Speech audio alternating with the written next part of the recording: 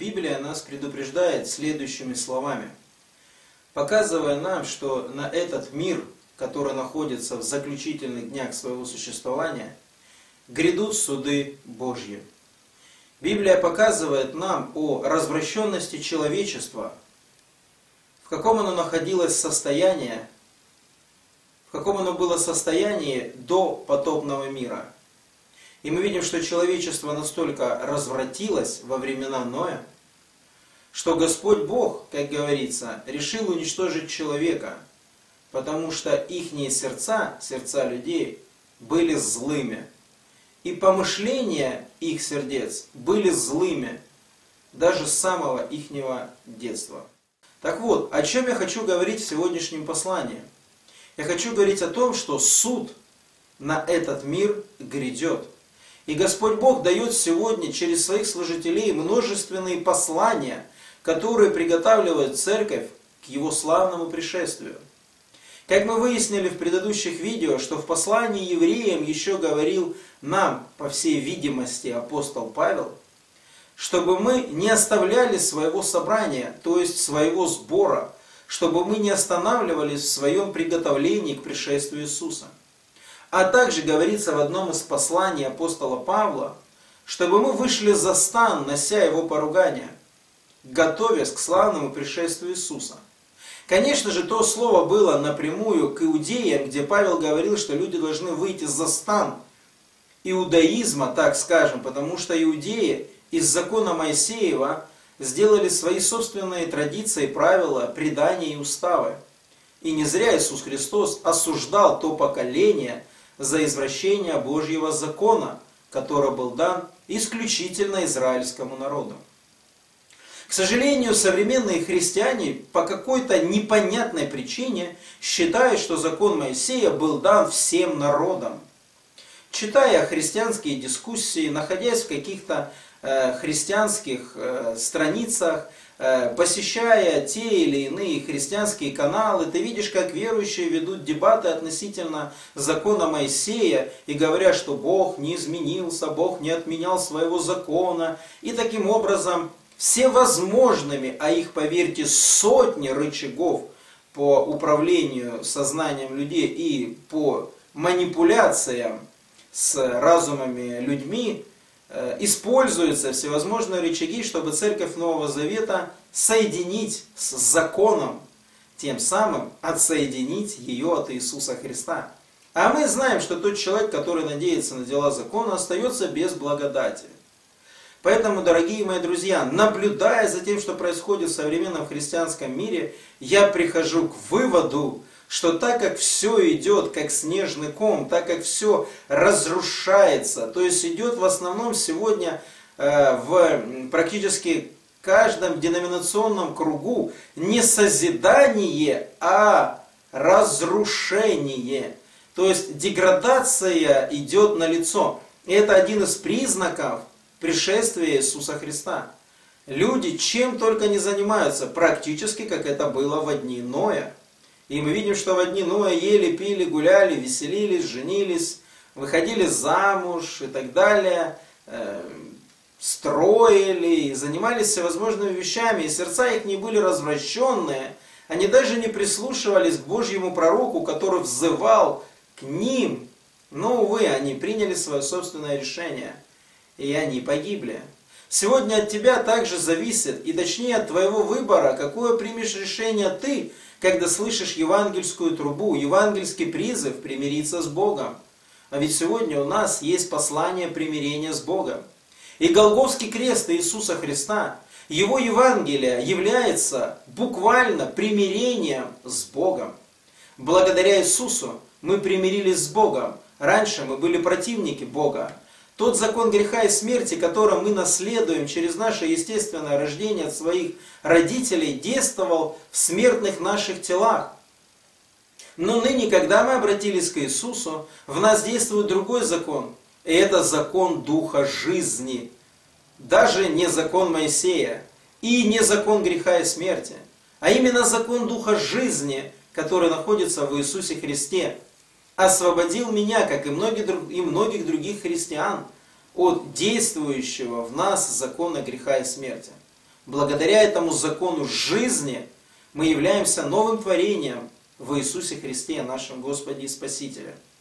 Так вот, точно так же, как спасение людей зависело от их выбора и принятия решения в одни Ноя, так и сегодня от твоего принятия решения и от твоего выбора зависит твое, так скажем, будущее местоположение, когда твоя жизнь закончится на этой земле. А ведь Библия нам говорит, что жизнь человека это пар, который является на малое время, а затем исчезающий. Сегодня ты есть, завтра тебя нет. К сожалению, многие люди, живя в этом мире, заботятся только о том, чтобы думать, что им есть, что им пить и во что им одеваться. Как Иисус говорил, что люди в основном и думают об этом, но Он указал на небесных птиц и сказал, посмотрите на них. Они не сеют, не жнут, не собирают житницы, но Отец Небесный питает их. Также Он говорит, вы лучше многих малых птиц. Отец Небесный будет заботиться и о вас, и о ваших нуждах, подавая вам хлеб насущный на каждый день, как и учил Иисус Христос молиться своих учеников. Верно? Так и есть. Итак, от принятия нашего решения зависит наше будущее. Наше будущее зависит исключительно от того, во что мы верим и какие решения мы принимаем для своей жизни. И в этом послании я хотел бы, чтобы Христос был принятием твоего решения – чтобы ты принял решение следовать за Иисусом, выйдя за порочные круги этого мира, в каком бы ты ни был порочном круге этого мира. Но сама система этого мира является порочным кругом. Сама система деноминации является порочным кругом, в которой только лишь происходит разложение и медленная деградация, хотя для начала невидимо физическому глазу на первый взгляд, или даже духовному глазу.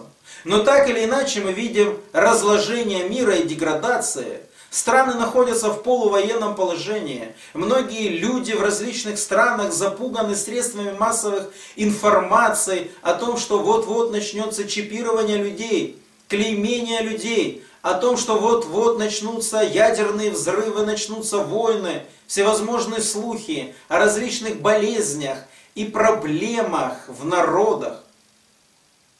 Люди сегодня живут в страхе. А Библия говорит нам, что в страхе есть мучение. Действительно. Один из рычагов по управлению человеческим стадом – это страх. И любое государство, в любая страна использует этот рычаг давления по управлению своим собственным народом – это страх. Ведь с помощью страха можно управлять государствами и огромными массами людей. Вот почему Иисус всегда предупреждал нас, говоря следующее. «Не бойся, малое стадо, ибо благоволил Отец дать тебе царствие». Страх – это то, что должно быть удалено посредством любви Божьей из нашей жизни, потому что совершенная любовь изливается в сердца наши, и любовь – это победа над страхом. Тебя запугивают еще с детства, да? Тебя запугивали еще с детства. Нас всегда кто-то и чем-то пугает.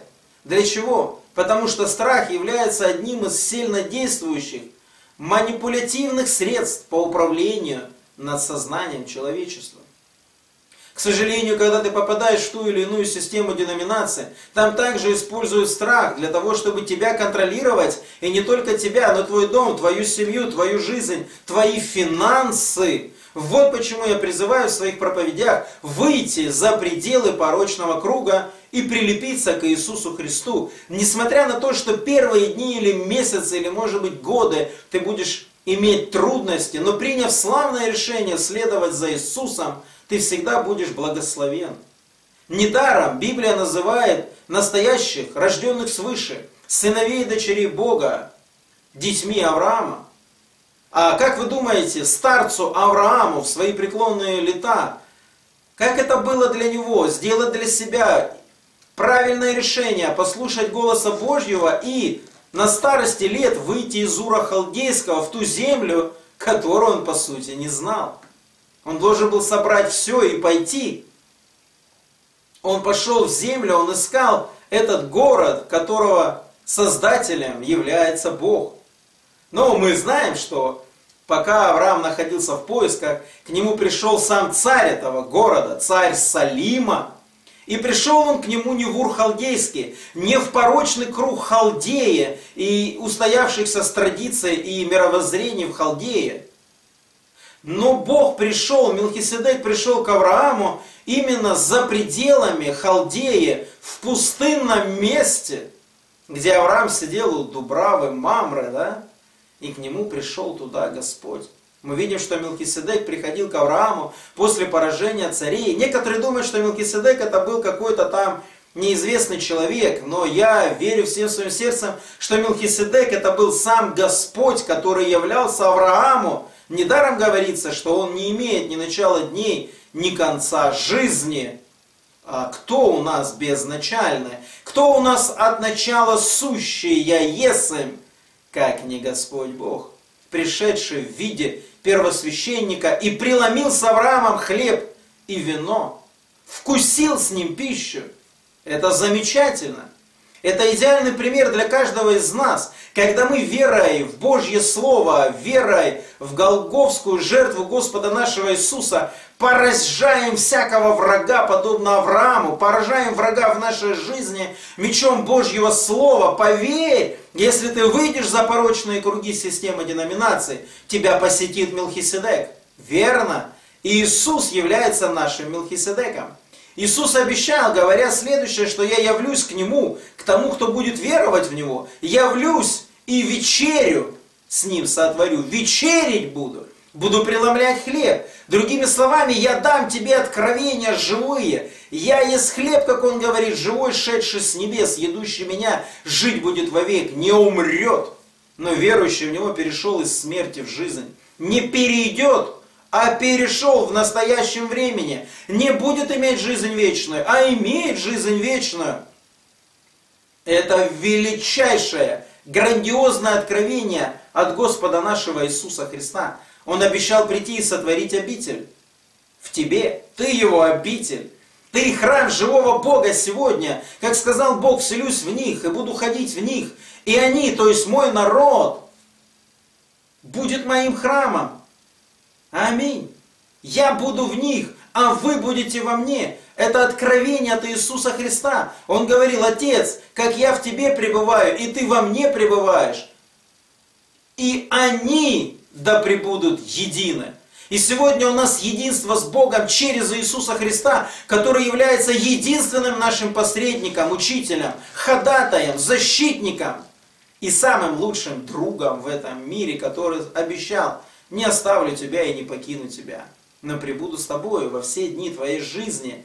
Если ты будешь хранить это слово в сердце своем, ты будешь являться победителем, будешь выходить в победе из любого искушения и испытания, которое не стояло бы перед лицом твоим и на твоем пути. Ведь обетование Божье говорит, вы будете наступать на всю вражью силу, попирать будешь, как говорится, даже льва и дракона – а я думаю, это имеет духовный смысл. Не просто льва в виде животного или дракона какого-то, но это демонические сущности. Апостол Павел говорил, что дьявол ходит как рыкающий лев, ища кого поглотить. А ты, говорит обетование, будешь попирать льва а дракон – это древний змей, дьявол. Ты будешь наступать на всю вражью силу. Попирать будешь льва, рыкающего дьявола. Наступать будешь на горло дракону, древнему змею. И наступать оружием Божьим. Вот почему апостол Павел говорит следующие слова для нас – чтобы мы всегда были в готовности, и наши ноги, чтобы были обутые в готовности благовествовать Божье Царство, чтобы мы взяли шлем спасения, щит и шлем, аллилуйя, и меч, который есть Слово Божье. Аминь. И щит, которым вы сможете отражать все раскаленные стрелы лукавого. Сегодня ты как воин Иисуса Христа имеешь облачение, великое обмундирование из Божьих обетований, как сильный воин Иисуса, снаряженный великим оружием против врага. Вот почему говорится в Писании – что даже никакое злое слово, никакой злой язык, и тот, кто даже будет состязаться в тобой, с тобой в суде, того ты обвинишь. Это даже было в Ветхом Завете обетованием для израильского народа. Но не устоит перед тобой ничто и никто, ни один враг. Точно так же, как Иисус побеждал дьявола, который искушал его в пустыне, а побеждал его Иисус через Божье Слово, произнося его вслух, так и сегодня через Божье Слово перед тобой должен быть сокрушен дьявол перед величием Иисуса, который живет и находится в твоем сердце. Ты должен осознать, что ты являешься храмом великого Бога. Тот же самый Бог, который вначале сказал, да будет свет, Он поселяется внутри тебя через крещение Духом Святым. Тот же, который сказал, да будет свет. Тот же, который создал луну, звезды, солнце, всех птиц и зверей полевых, моря и океаны, и все воинства небесные, и всех ангелов, тот же Бог поселяется в тебе, и частица Его Духа живет в тебе через новое рождение. Если это станет откровением для нас, мы будем более и более зрелой, непобедимой армией во Христе Иисусе. Осознавая, что мы живем в последнее время, как это было в дни Ноя, они не слушали Ноя, они не слушали Божьего послания, и они были осуждены. И сегодня наше послание, которое мы несем, это послание примирения с Богом через Иисуса Христа. Мы должны, как воины Божьи, сегодня стоять на готове, не терять свою бдительность, не засыпать, не спать, бодрствовать и трезвиться, как однажды сказал Иисус своим ученикам, трезвитесь и бодрствуйте, чтобы не впасть в искушение, плоть немощная, но дух бодрый.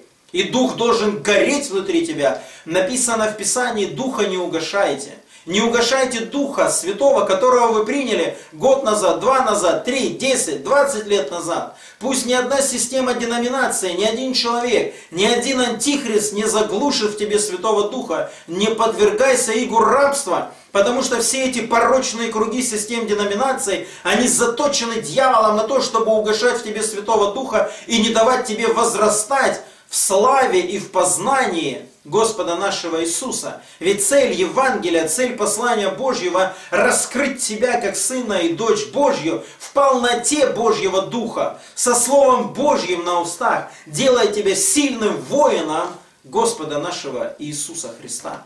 Аминь. Я хочу, чтобы это послание дало тебе сегодня поддержку и укрепление. Не смотри на людей, они будут пускать против тебя стрелы, они будут вонзать тебе стрелы в спину, но ты должен вставать, потому что сила Евангелия способна тебя поднимать. Помню, когда я еще был новообращенным христианином и совсем немного в вере, Святой Дух проговорил через мое сердце, через слова, которые были сказаны об Иосифе. я до сих пор эти слова помню. Иосиф, отрасль плодоносного дерева. Стреляли на, в него и враждовали на него стрельцы. Но тверд остался лук его и крепко мышца его, да, по-моему, от мощного Бога Израилева. Но я до сих пор помню, Бог проговорил мне, указывая на этот стих, «Я поведу тебя этим путем, путем Иосифа». Это было мне сказано почти 20 лет назад. Но я до сих пор помню, как Бог показал мне этот стих из Писания и проговорил конкретно в мое сердце. А вы знаете, когда Бог говорит в сердце, это отпечаток в сердце остается на всю жизнь. И я до сих пор помню это слово. Я поведу тебя этим путем, путем Иосифа. И оглядываясь назад на весь свой прошлый опыт, я сегодня оказался в таком же положении, как Иосиф. Выйдя за все порочные круги, меня выдавили практически. Практически, э, да я и вообще как бы этим и не интересуюсь, нужен я там кому-то или нет. Но когда на Иосифе, посмотрите, как на нем братья рвали эти разноцветные одежды, что является образом на помазание Божье. Как они ему завидовали, как они его продали, как они его выкинули в Египет. Но благодаря дару и призванию, которое было в Иосифе, Египет не вымер с голоду, и братья, пришедшие в Египет, не вымерли с голоду. Аминь. Вся жизнь и служение Иосифа было отображением жизни Иисуса. Или вы не знаете, что каждый рожденный свыше, он является прообразом, его жизнь такая же, как жизнь Иосифа, потому что Иисус, Иисус отображался в жизни Иосифа. Как братья продали Иосифа, так и Иисуса предали, по сути, братья, израильский народ. Говорится, пришел к своим, но свои его не приняли. Да, да, да, дорогие мои друзья. Обратите внимание, вспомните, как жил Иосиф. И пускай жизнь Иосифа будет для вас поддержкой. Пускай жизнь, которую вы видите в Иосифе, и преданность, которая была в Иосифе для Бога, пусть она будет в вашем сердце. Бог взбадривает даже меня, напоминая мне это обетование. Я вспомнил его только сейчас.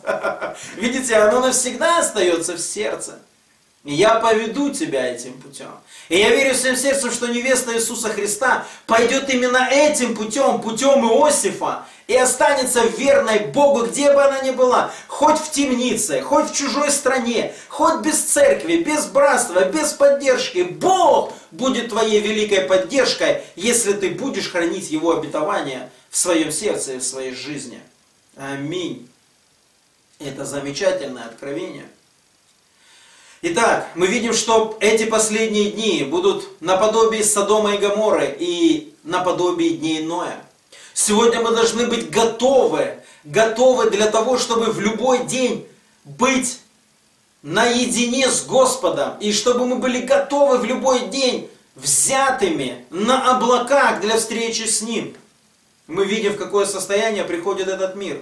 Мы видим, как народы приходят в волнение. Мы видим, как многие церкви начинают деградировать. Кстати, я вижу, как Бог начинает движение и проявление сыновей Божьих именно за, за пределами порочных кругов системы деноминации. Один там сын, одна там дочь, другой там. Мне звонят десятки людей, пишут десятки людей. Я вижу, как у сыновей и дочерей Божьих по всему миру открываются глаза. Это самое лучшее. Открываются глаза на тот обман, который царит в мире, царит в церковных деноминациях. Люди прозревают, выходят за пределы своих ложных деноминационных кругов и начинают видеть Иисуса в их жизнь приходят настоящее откровение от Бога. Аминь. И это прекрасно. Мое сердце радуется от того, когда я вижу, что дети Божьи ходят в истине. Аминь. О, мое сердце просто восхищается от этого, когда я вижу сыновей и дочерей Божьих в славе Божьей. А также мое сердце огорчается. И иногда я выхожу из себя, видя, как детей Божьих сегодня обманывают, как им лгут, как им навязывают чуждые ценности, которые чуждые для настоящего заново рожденного христианина.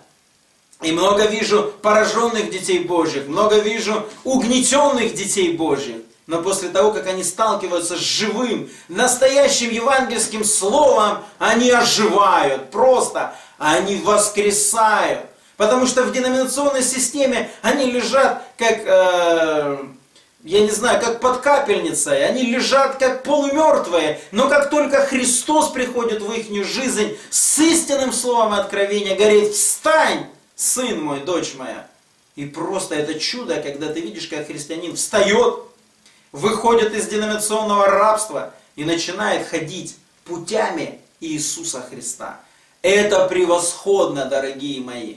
Вы не представляете, насколько это чудесно жить, не завися от человеческих мнений. Ведь вы знаете, Библия говорит, что страх перед людьми ставит сеть. Это капкан. Когда ты думаешь, что о тебе скажут люди, когда ты озабочен только тем, что они про тебя подумают или будут говорить за твоей спиной, это капкан, это препятствует твоим отношениям с Богом.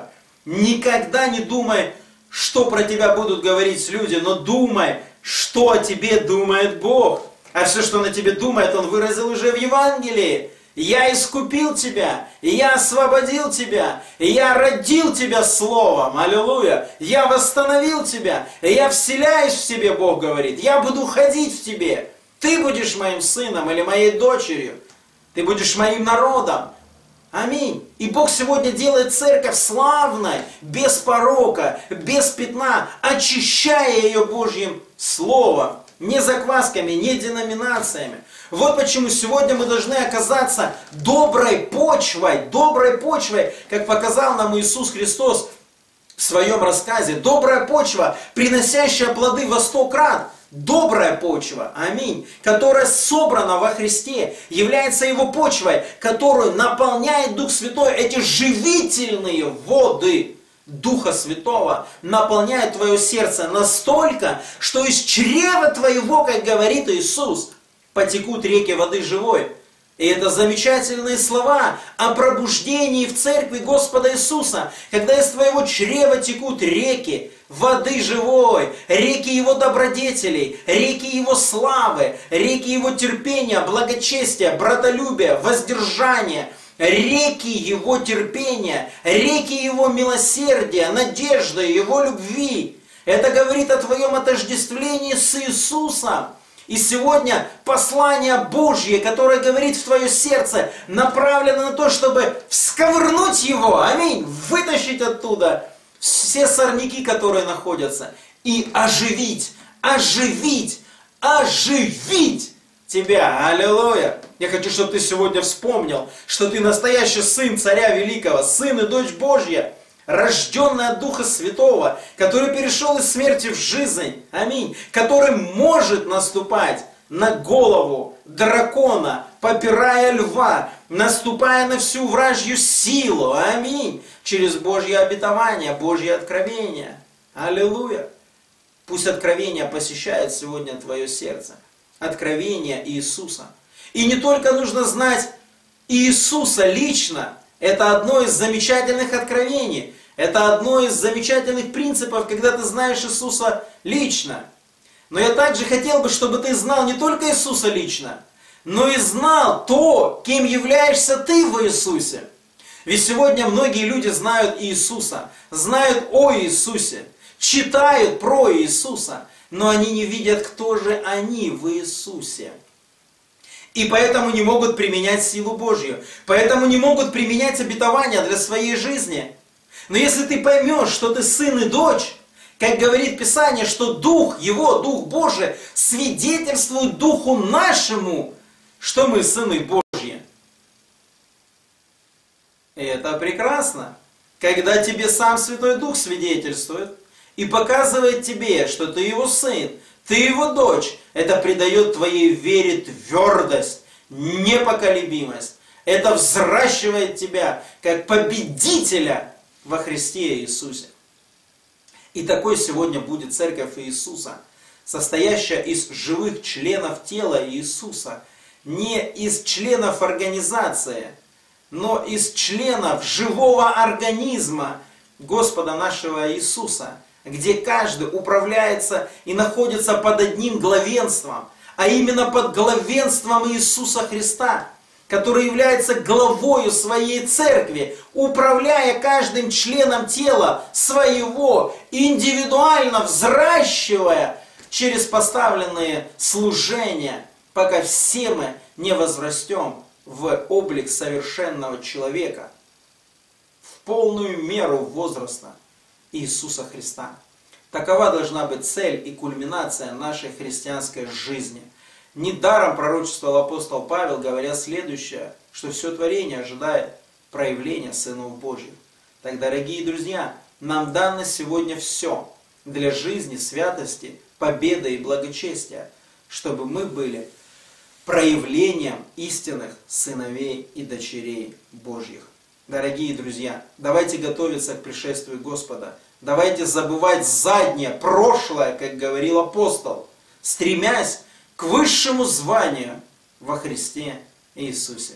А для нас нет выше звания, чем не просто называться, но быть детьми Божьими. Как говорится, во Христа крестившиеся, во Христа и облеклись. У меня на этом все. До следующих встреч. Мужайтесь. Иисус победил мир. У вас есть цель, и вы должны в нее попасть. И ваша цель – это Христос. Это Его Царство. Пусть Он царствует в вашей жизни. До следующих встреч. Аминь.